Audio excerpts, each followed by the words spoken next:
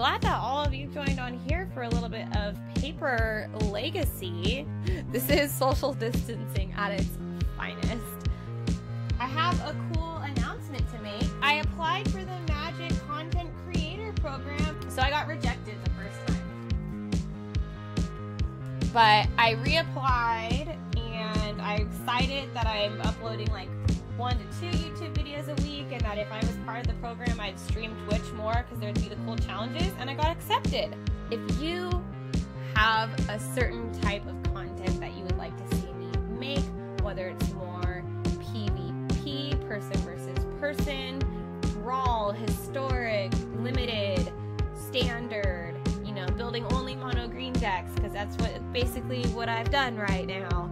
Uh, but if you have something that you would like me to do uh, with my MTG content creator status, let me know in the comments or hit me up on any of my social medias at ZBEXX. And of course, if you do need any paper magic cards, check out one of my sponsors, Addictive Behaviors. You can shop them at ccgobsession.com. Yeah, the website's different than the store. Thanks for listening to my announcement about being a content creator. So you can expect more Twitch streams from me, hopefully an early access stream event.